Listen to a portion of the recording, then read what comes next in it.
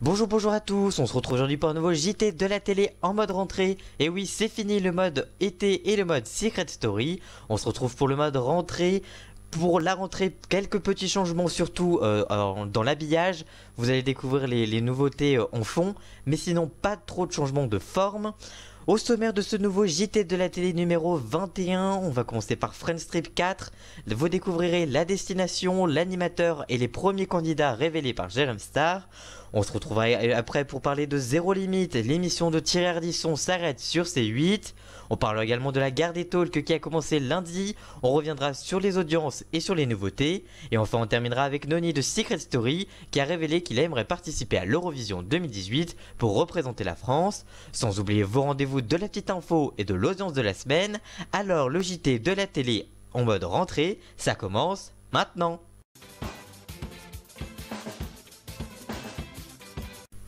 On continue avec Friends Trip 4, découvrez les candidats, l'animateur et la destination de la quatrième saison.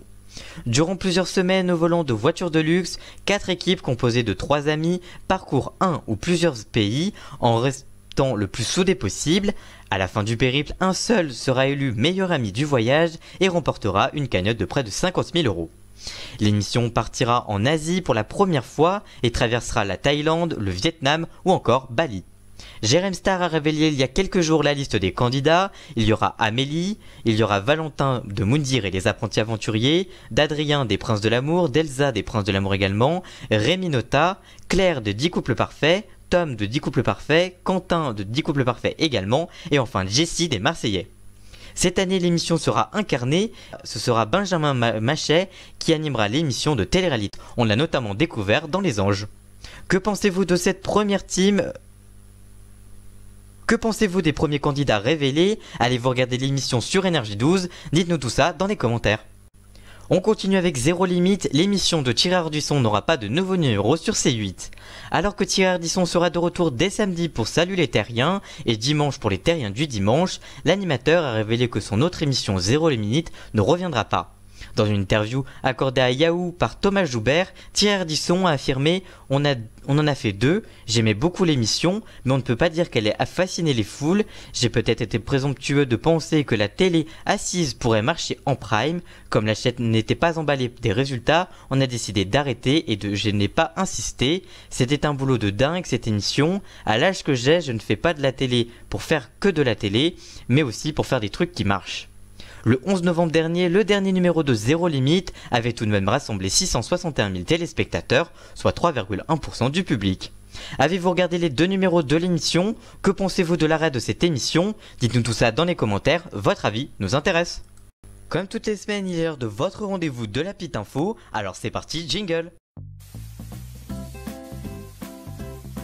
Nouveau numéro inédit de vendredi Tout est permis avec Arthur, avec une spéciale jeu télé le vendredi 22 septembre prochain à 23h15, juste après Colanta sur TF1.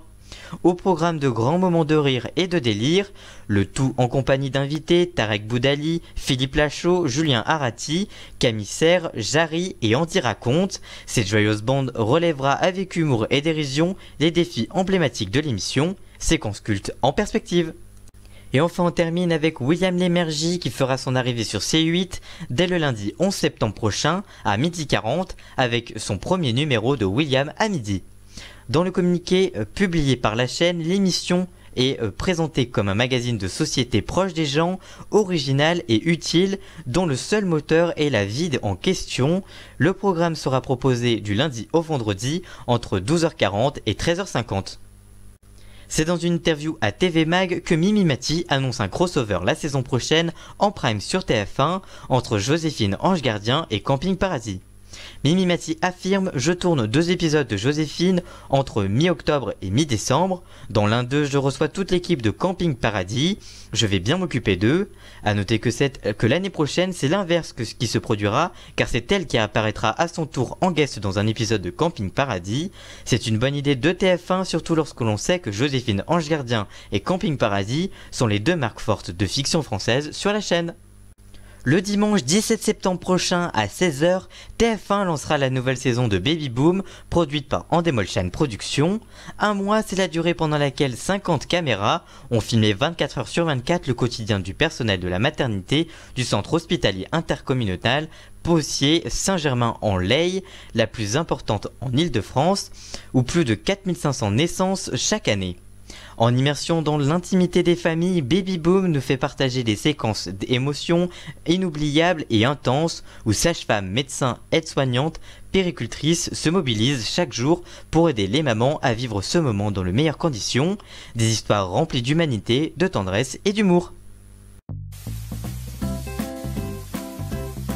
Quel talk show est vainqueur dans la guerre de l'accès entre TPMP, Quotidien et C'est à vous ce lundi 4 septembre, c'était le retour des talk shows de l'Access, avec Touche pas mon poste nouvelle version sur C8, quotidien de Yann Barthès sur TMC, et C'est à vous avec Anne-Elisabeth Lemoine sur France 5. Touche pas mon poste sur C8 s'offrait une nouvelle version après les trop nombreuses polémiques de la saison. Nouveau plateau, nouveaux chroniqueurs, nouvelle chronique, les changements étaient nombreux. L'émission pour sa première a rassemblé 1,3 million de téléspectateurs, soit 5,5% du public devant Cyril Hanouna. Quotidien sur TMC était de retour avec une team quasiment identique. Yann Barthès était de retour avec sa bande pour parler de l'actualité avec l'humour et impertinence.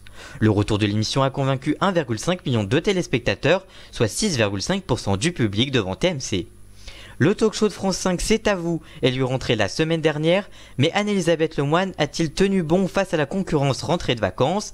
Eh bien oui, puisque 788 000 téléspectateurs, soit 4,5% de fidèles, étaient présents devant leur poste. Les talk shows étaient de retour et les niveaux d'audience des émissions ont été très suivis. Reste à savoir comment va évoluer ces audiences dans les prochains jours. Que pensez-vous de ces audiences? Avez-vous regardé l'une des émissions? Dites-nous tout ça dans les commentaires. Votre avis nous intéresse. On va parler de Noni de Secret Story 11, il veut représenter la France à l'Eurovision après son passage éclair dans Secret Story. Noni, membre du duo Tribal King en 2006, s'est présenté dans le SAS mais malheureusement Tania ne l'a pas choisi et a préféré Alain, mais le jeune homme ne va pas s'arrêter à cet échec. En effet, le jeune homme a révélé dans une interview à Télé Loisirs qu'il n'avait pas vécu cette élimination de manière négative, au contraire, il a même dit qu'il aurait eu du mal à draguer Tania. Il a également dit qu'il aimerait représenter la France à l'Eurovision 2018. France 2 devrait organiser une émission pour élire le représentant de cette année, alors affaire à suivre. Que pensez-vous de cette idée? Vous rappeliez-vous de lui lorsqu'il faisait Tribal King? Dites-nous tout ça dans les commentaires, votre avis nous intéresse bien évidemment.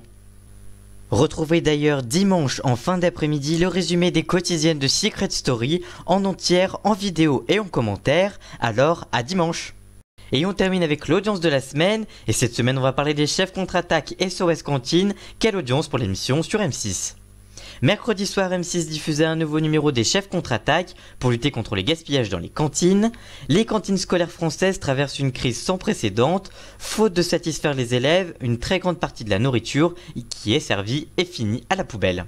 Valérie, cantinière à l'école Michelet, et Caroline, cantinière à l'école Irène Curieux, ont demandé à quatre chefs de leur venir en aide. Après avoir découvert ce, que les écoliers français ont vraiment dans leur assiette Norbert Tarrer, Ghislaine Arabian, Colline Fosclier et Pierre Augier ont trois mois pour démontrer qu'il est possible de proposer de vrais repas de qualité. L'émission a rassemblé 1,8 million de téléspectateurs, soit 9,3% de part d'audience. L'audience n'est pas une très bonne, mais reste dans la moyenne de la chaîne. Avez-vous regardé l'émission diffusée mercredi soir? Que pensez-vous de cette émission? Dites-nous tout ça dans les commentaires, votre avis nous intéresse.